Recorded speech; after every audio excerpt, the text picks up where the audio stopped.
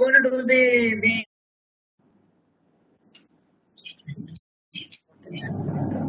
okay all right uh, so the topic that has been given by Dr. Sunita Maheshwari is echo tricks and traps. I think all of you are pretty good at doing echoes, so I'm not really going to tell you how to do echo and what an echo looks like, but basically I'm going to just tell you where all you can get trapped uh, while you are doing echoes. More so, you know, the common problems that we face and the common errors that we commit.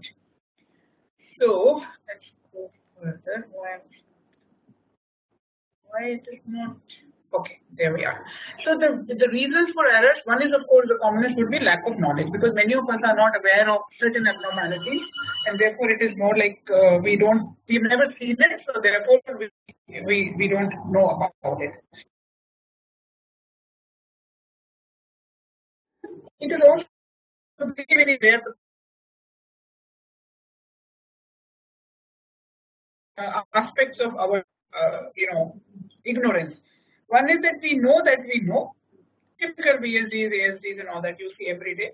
We also are aware of certain things that we know that we do not know. So there will be some abnormalities that we have never seen before. So we know they exist but we never seen their echo so we really can't make out when we see it for the first time. But then there is a big group where we don't know that we don't know and we don't know that we actually know. So there will be I am not going to discuss under these headings but this is how basically lack of knowledge uh, shows. So here is a classical example is of a four chamber view of a patient who is looking like a large ASD. But we all know that fossa ovalis can produce uh, a little bit of uh, thinning of the septum and therefore like a dropout in four chamber view. So you are supposed to do a subcostal view to be very sure if there is an ASD or not.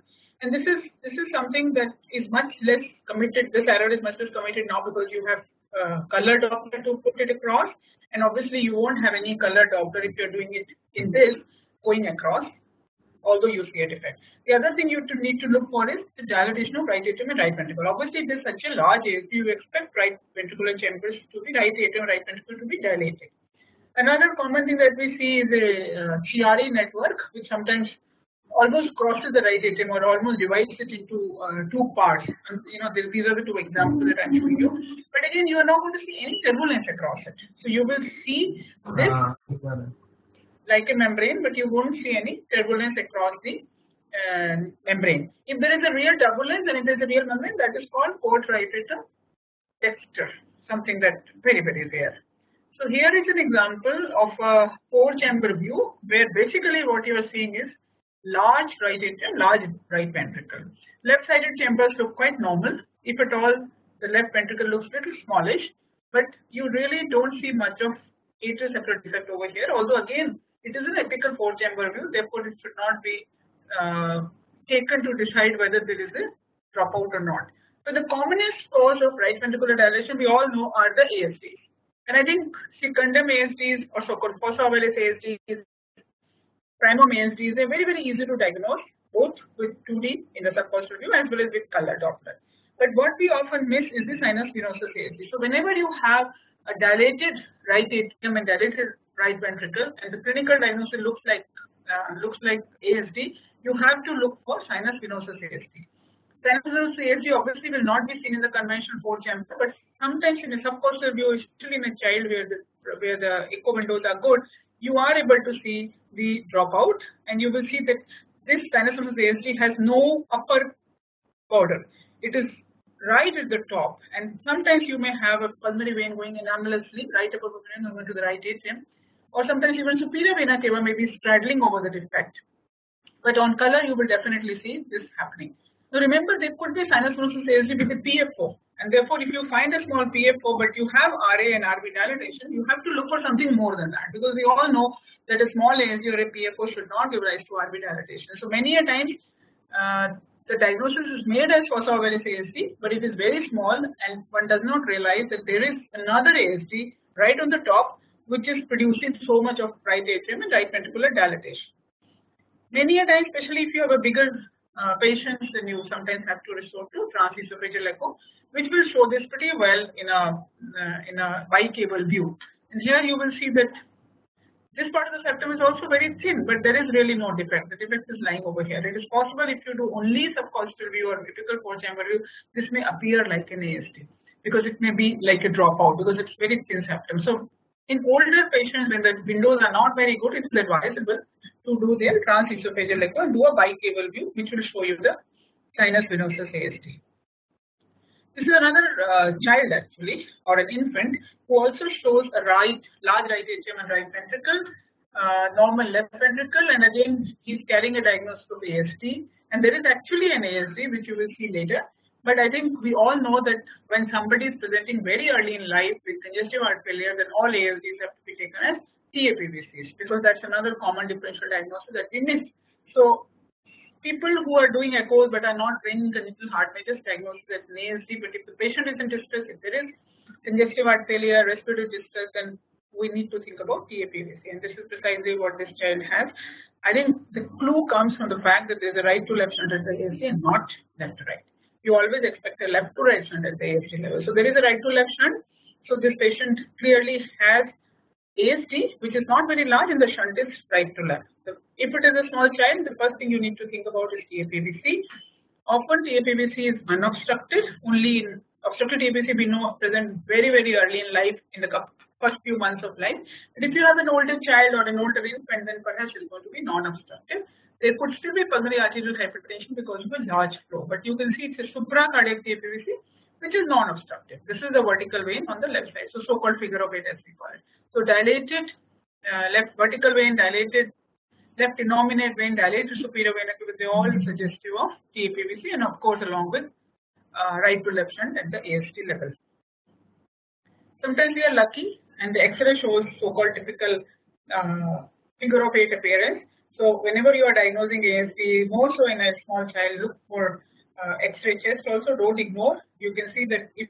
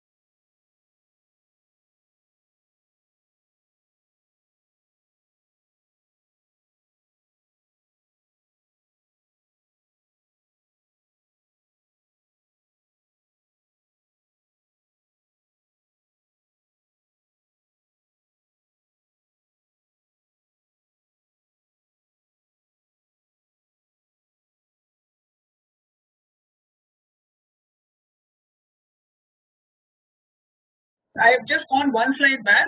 Uh, uh, aortic large ASD with mitral stenosis. Mitral stenosis, and I was just trying to tell you that you can, you're likely to miss mitral stenosis if you just go by pressure half time because pressure half time will not show any gradient and everything will look fine. But actually, if you if you uh, see the planimetry, then you're going to pick it up. So this patient actually had uh, it's about I think 12 or 13 year old girl who had large ASD came in heart failure, was in sinus rhythm, and the cause for heart failure was mitral disease. So this was like a Lutembacher complex. So this was ASD with mitral stenosis. Now, what I was uh, trying to tell uh, last time when the audio went off was that uh, whenever you have a child who is having severe pulmonary arterial hypertension and you are you're not seeing an obvious cause for it, you need to really consider many differential diagnoses, and that's a common problem that we face in clinical practice that uh, you have right atrium, right ventricle dilatation, you have significant tricuspid regurgitation, there is no VSD, there is no PDA, obvious, and therefore you wonder why this pulmonary artery hypertension is happening. And many times these children are labeled as primary pulmonary artery hypertension. I think whenever we are dealing with PH in children, we must we must uh, think of many conditions which are actually treatable. And before saying telling anybody that this is primary pulmonary artery hypertension, we need to think of many possibilities. Some of them I'm going to show you. So you have to consider age of the child. If it's a very small baby, it is likely to be obstructive TAPVC and it is very, very unlikely to be uh, primary pulmonary hypertension. Similarly, if the child is in distress and in heart failure, likelihood is that you're dealing with a shunt uh, kind of a thing which you're missing because it's a very odd shunt. And of course, the features we have to see what are the other factors, other features present on echocardiography. So this is uh, a five-day-old baby who has presented in heart failure, has evidence of severe pulmonary arterial hypertension, right atrium, right ventricle dilated, and obviously there is no cause on echocardiography. Everything looks fine. There is no VSD. There is nothing. There is an ASD which is going right to left, suggestive of severe pulmonary arterial hypertension. And what you get peculiarly is that there is a you know aortic runoff as you can see here. So there is an aortic runoff, but there is no aortic regurgitation. There is no PDA to to uh, as a cause of this aortic runoff. So when you have such a small baby who is in distress, you have to think of some very very odd conditions and one of them is a vein of Galen malformation which is uh, not an uncommon entity I think if you if you keep your ears and eyes open you would probably see one case every year or at least every two years and what is important is that we should not ignore clinical uh, examination. And whenever you have a patient where everything looks fine, but patient has features of severe PH and it's a very small baby, usually within first week of life, you must try and hear over the head because when there is an AV malformation, you can actually get a continuous murmur or a bruit over the head of this baby. And it is very easy to hear because these babies have all their continents open you can actually hear it and you can sometimes do a head ultrasound and that might also give you an idea that there is a Galen malformation. Of course, angiography is the, the uh, final diagnosis. Similarly, this is another 8-month-old child who is presenting with, again, pulmonary artery hypertension and is in heart failure. Echo showing same dilated right atrium, dilated right ventricle with moderate tricuspid regurgitation and evidence of severe pulmonary arterial hypertension. So you again try and see and again you can see that there is a runoff in aorta. So there is no PDA but there is a runoff in aorta. So what is happening over here? Actually this child is having right pulmonary artery arising from aorta or some people like to call it hemitruncus but actually it's better to call it anomalous right pulmonary artery from the ascending aorta. So when you do an angiogram you only feel left pulmonary artery, right pulmonary artery is not seen because it is disconnected from pulmonary artery. So again whenever you have a patient who shows right ventricular dilatation with tricuspid regurgitation with severe PH, in the short axis, you must look for bifurcation of pulmonary artery. Otherwise, you are always going to miss this condition of so-called hemitruncus or anomalous RPA from aorta. So this may be absolutely an isolated entity and the treatment is clearly doable. You can surgically correct this child. Therefore, it's important to diagnose this particular entity and you have to look for bifurcation of pulmonary artery in short axis.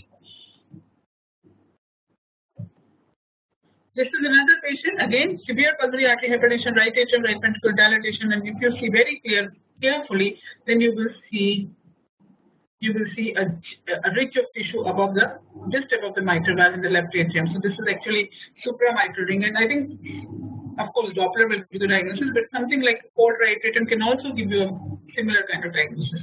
So the causes of treatable pulmonary artery hypertension, besides of course vein of Galen malformation and uh, you have to think of left ventricular inflow obstructions, whether in the form of cor triatriatum or in the form of supramitral ring or sometimes even pulmonary venous stenosis.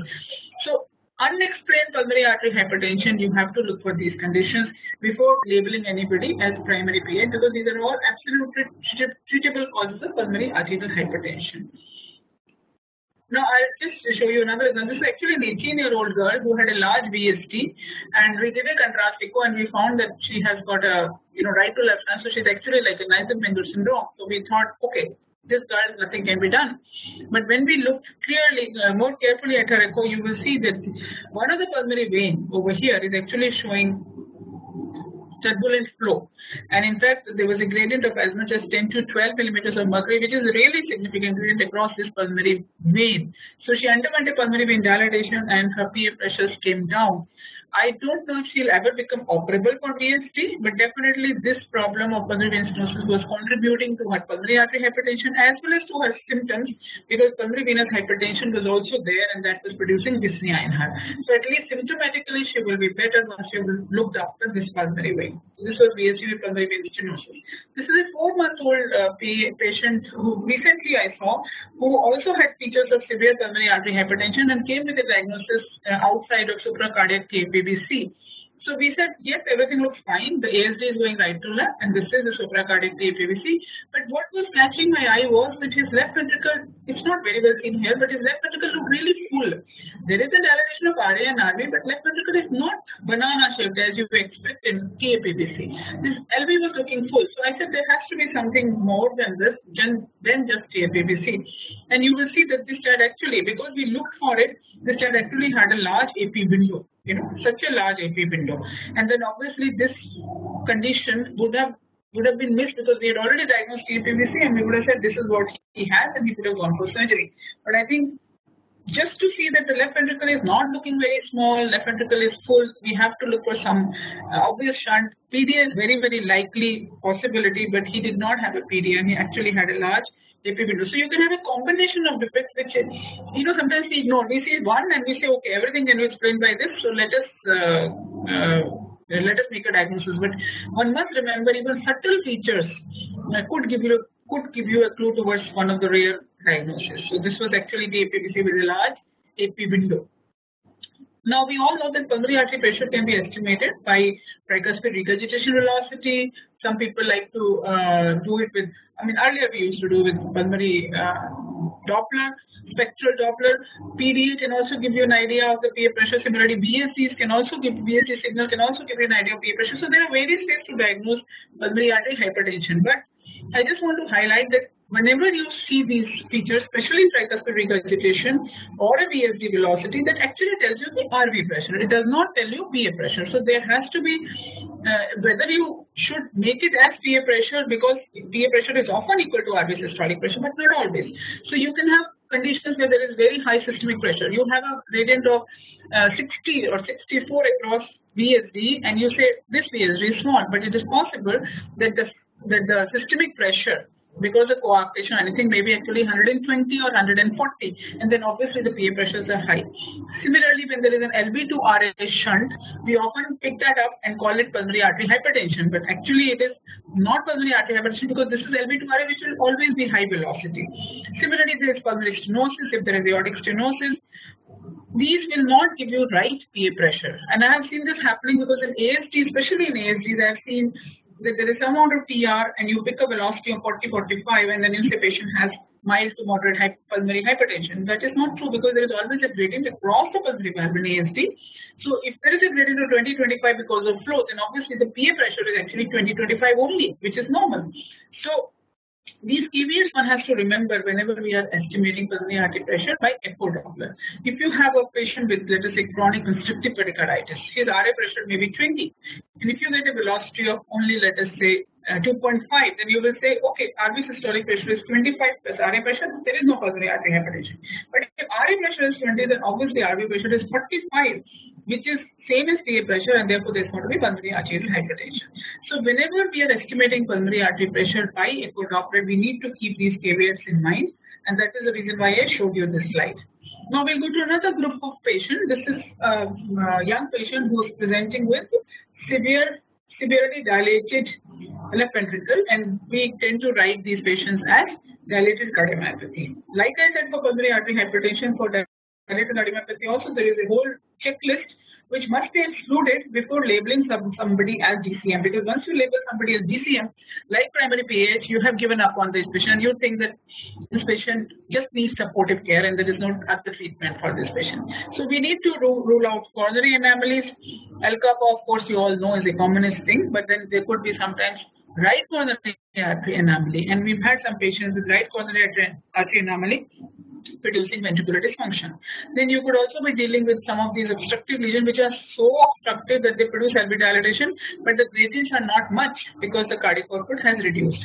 Another condition that we often miss is aortoarteritis and uh, I think mm, uh, we've seen many patients who do not even have hypertension when they come because their LV is so bad that their hypertension gets decapitated. So they have a pressure of 100, 110 and therefore we don't diagnose hypertension. But they present in pulmonary edema. The classical example being renal artery stenosis because of aortoarteritis, something which is not uncommon in our country.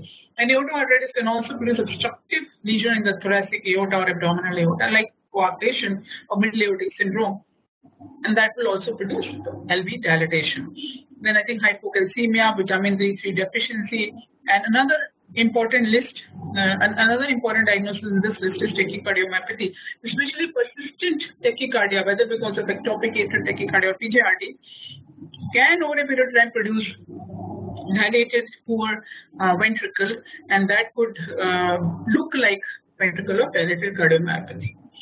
So this is, I think all of you are familiar with this condition. This is a patient who had LV dysfunction but had anomalous coronary artery from the pulmonary artery and I think it's quite uh, the clue comes from the fact that there's dilated right coronary artery and then of course the left left coronary left coronary artery if you see it is coming from pulmonary artery.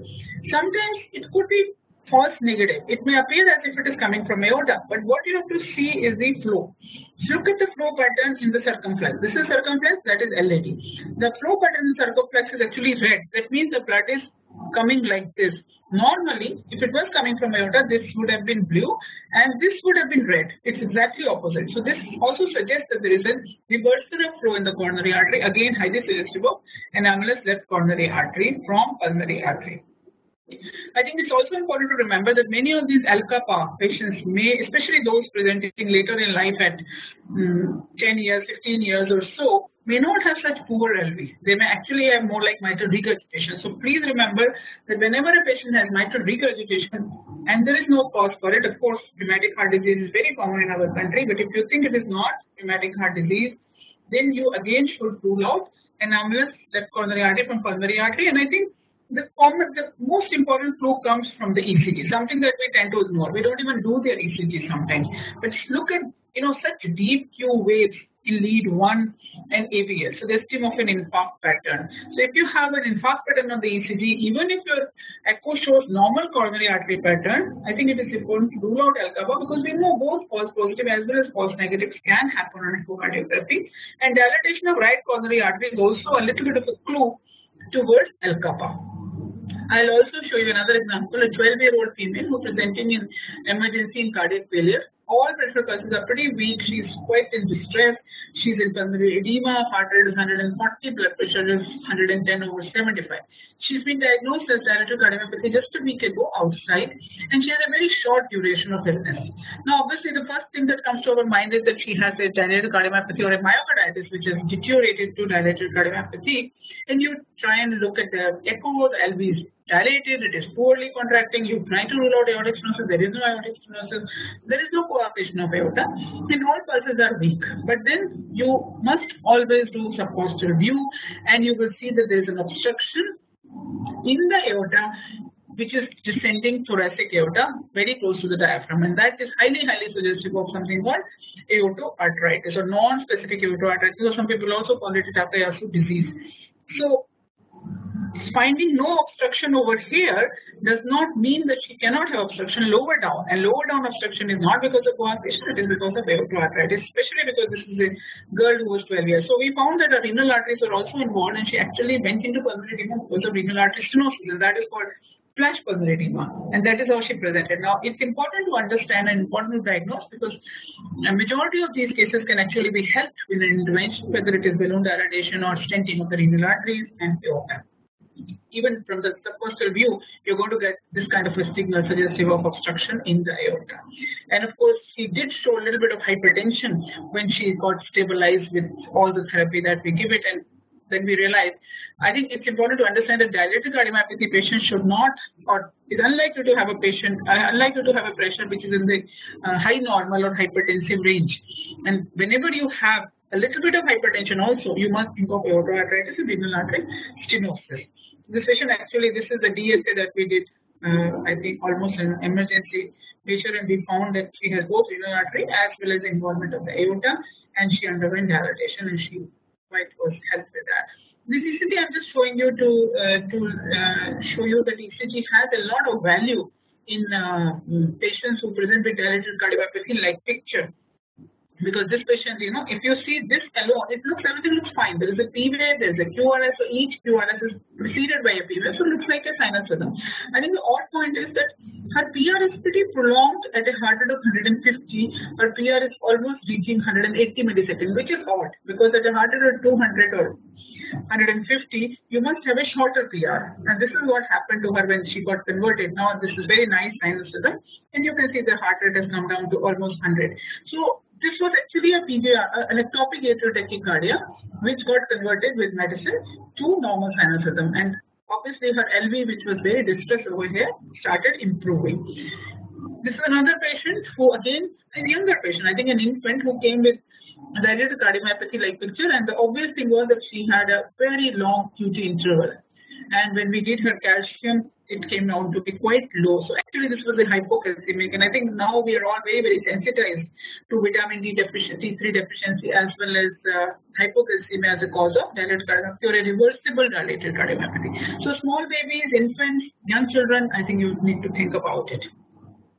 So the checklist again, ALCAPA, which I showed you, obstructive uh, lesions, aortoarteritis, deficiency, take the one. Just to tell you that anybody with a dilated poorly contracting LV should not be labeled as dilated cardiomyopathy because there are lots of treatable conditions that can reverse this problem. Now then I will just show you some pattern recognition. Now this is a patient who was who was referred to us from outside as PDA with aortic stenosis and a bicuspid aortic valve. Yes, we did find a PDA on echocardiography and here there is aortic stenosis. You will see that there is a turbulence across the aortic valve, but his aortic valve was not bicuspid. bicuspid. It was actually aortic stenosis because of a subaortic membrane. And I think unless you really think about it, you probably will miss it because there's no or there's very little aortic regurgitation.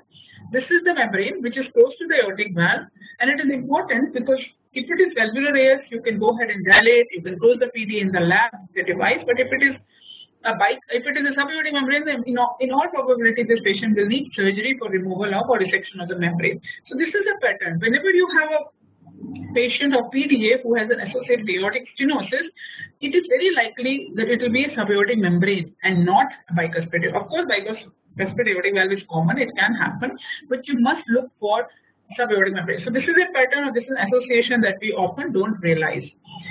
Similarly, this is a patient who came to us with a diagnosis of hypertrophic cardiomyopathy, an 8 or 9 month old child, massively dilated, massively hypertrophic ventricle, dilated, there was no alveolar obstruction, and he was diagnosed as HCM outside, and uh, that was the diagnosis. LV you can see is functioning quite normally, but patient was in gross heart failure because there was a lot of diastolic dysfunction of the LV.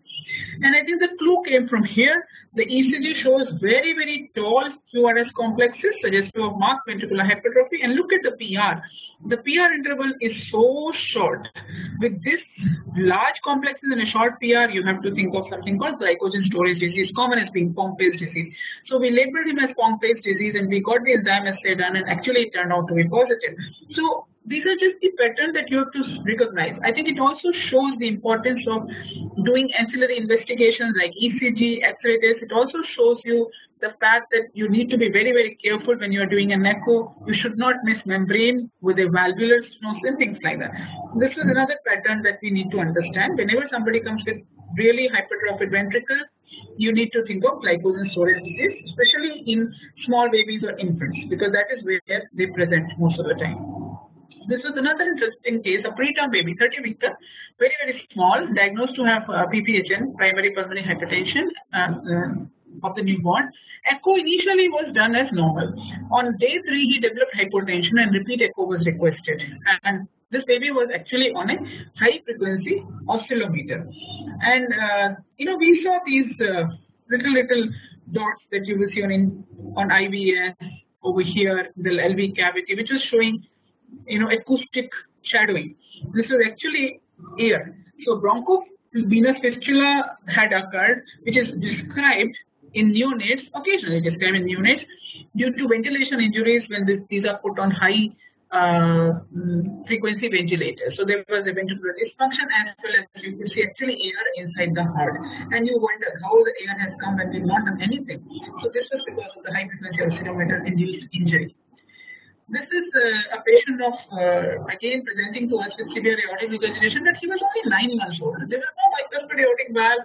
He had very long adiastolic murmur. He showed a lot of features of AR. But this is really not AR. This was actually LV to aorta tunnel. And again, you have to look very carefully because the aortic valve is lying over here and above the aortic valve we had this extra shadow from where the blood was leaking back into the LV. So this was actually an LV to aorta tunnel. Again, an important thing to diagnose because for an LV aorta tunnel, your your uh, your uh, index for sending in for surgery or your uh, you know, he should go for surgery as soon as he can. But if it is really aortic regurgitation, then you are little hesitant to send for surgery because you know that the surgeon cannot replace a valve at this stage. He can do a Ross operation or he can do an aortic valve repair and the results may not be good. But if it is LV to aorta tunnel, then the results are really good because you are not doing anything to the valve. Valve is fine. It is all that you have to close the tunnel and the air stops. So aorta LV tunnel is something again which must which presents as severe aortic regurgitation. Now, I'll just show a couple of uh, unusual pathologies. Now, this, of course, is very, very uh, clear that this LV is so poor that if you have a mass inside, we should call it a clot because this LV is very prone to a. So, therefore, this is not a difficult diagnosis. That DCM with a clot is, is not unusual. Now, this one, this one was uh, another one where the left ventricle looked normal, but this was a non-compaction of the actually right ventricle.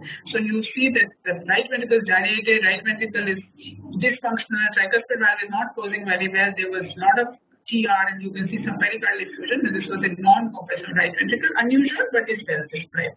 This is another child who underwent surgery for VSD and you see this big ball coming from the uh, IVC and then getting through the tricuspid valve into the right ventricle. And we didn't know what it is. Then we were told by the surgeons that they had put in a line over here, and it's possible that this clot actually formed over the line, and this was like acting like a ball. So of course he was put on anticoagulation, and he gradually broke the ball, became smaller, but it was always very scary that it will just you know break from here and get into the lungs. So sometimes we, we almost sent him for surgery, but then we said let's wait for some time. He fortunately he improved. This was uh, a hydatid cyst actually, a mass which was appearing like to be in the heart but is actually not in the heart. It is in the pericardium as you will see here. This is the left ventricle left and we confirm that on CT. In fact, this case has been reported uh, huge hydatid cyst of the pericardium. This is another child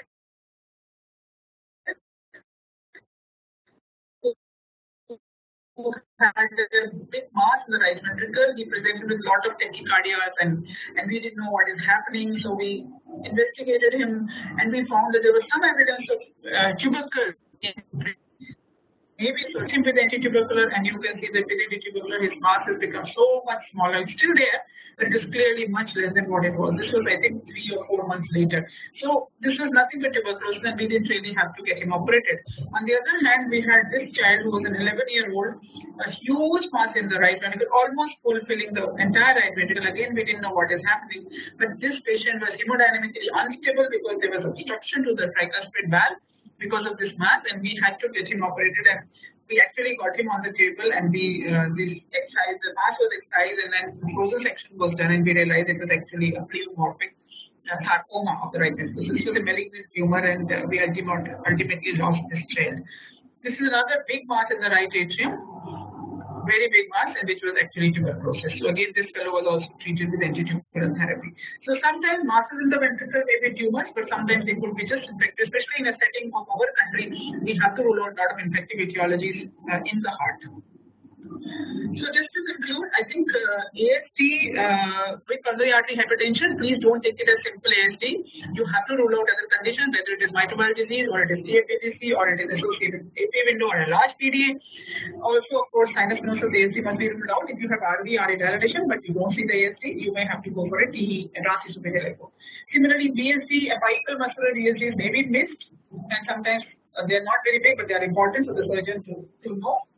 Then we have PDA, PDA associated coarctation and associated subaortic membrane, tetralogy of Fallot, additional VSD to be ruled out, uh, coronaries to be seen if possible, parchment. And then we have dilated cardiomyopathy where we need to rule out ALCAPA, R kappa, coarctation, aortoarteritis, aortic stenosis. I've shown you some examples. So a diagnosis of DCM and a diagnosis of pulmonary artery hypertension must be diagnosed with exclusion because there are various reasons for these and these need to be excluded before labeling somebody as having no uh, treatment because once you say idiopathic pulmonary artery hypertension then there is no treatment and of course you should be familiar with some rare and uncommon anomalies. Thank you. I would be happy to take